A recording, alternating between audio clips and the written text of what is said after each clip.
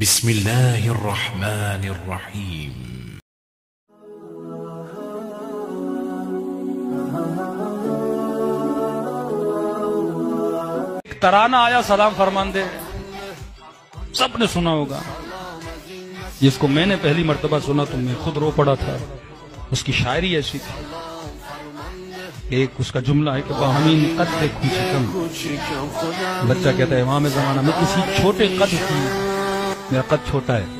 मेरे कद को नहीं देखो, लेकिन इसी छोटे कद के साथ मैं तेरे लिए अली इब्न महजियार बनूँगा।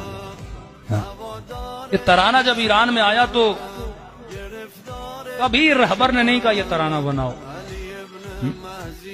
ऐसा नहीं, रहबर ने फंड किया और लोगों को बोला कि भाई तराना पढ़ो, उसमें म्यूज़िक नहीं, रहबर ने नहीं बोला था। इंडिविजुअली कई लोग कुछ काम करते हैं और कोई कसीदा हिट हो जाता है। सोशल मीडिया के थ्रू पता ही नहीं लगता ना। आपका कोई क्लिप हद से ज़्यादा वायरल होता है, आपको पता भी नहीं लगता। लोग फ़ोन करते हैं बोलाना ये चल रहा है। हमें क्या पता भाई क्या चल रहा है। इसी तरह सोशल मीडिया एक बहर है, एक समंदर है। कौन सी चीज़ उभरती है, कौन सी चीज़ उतरती है, पता नहीं लगता। इस तराने ने वावेला मचा दिया। ऐसे ही किसी बेचारे ने पढ़ा।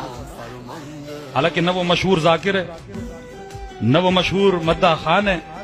न वो मशहूर मसाहिब खान है, एक इंडिविजुअल आदमी था, इस तराने से पहले कोई इसको जानता भी नहीं था। उसने पढ़ा और इस तराने ने तो एक गौका बपा कर दिया। एक वावेला बपा हो गया बीबीसी पर्शन, इसराइली चैनल। वो ईरानी अपने बच्चों को आइडियोलॉजी दे रहे क्योंकि उन्होंने इतनी मेहनत की थी उन बच्चों को बेदीन बनाने के लिए। एक तराने ने उनकी सारी मेहनत पे पानी फेर दिया। हालाँकि जब आप सलाम फरमांदे सुनेंगे तो सबसे ज़्यादा जो फोकस है ना, वो शायरी पर है।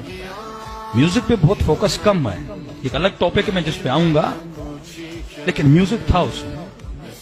ठीक बाज लोग जो खत विलायत फकीर का नाम लेते हैं। अब रहबर ने अपनी तकरीर में कहा कि एक तराना आया है, जिसने इसराइल को बड़ा परेशान किया है। जिसने बीबीसी पर्शन वालों को, वाकई बीबीसी पे इंटरव्यू तो ये ईरानी क्या अपने बच्चों को सिखा रहे हैं? महतवियत की आइडियोलॉजी दे रहे हैं। सलाम फरमांदे फरमांदे मतलब क्या? मतलब कमांडर, आप जो कहोगे मैं करने के लिए तैयार हूँ। लोगों के अंदर कुर्बानी का जज्बा, जिहाद का जज्बा, शहादत का जज्बा, कहिए छोटे बच्चों को खराब कर रहे हैं, जिहाद का जज्बा देकर।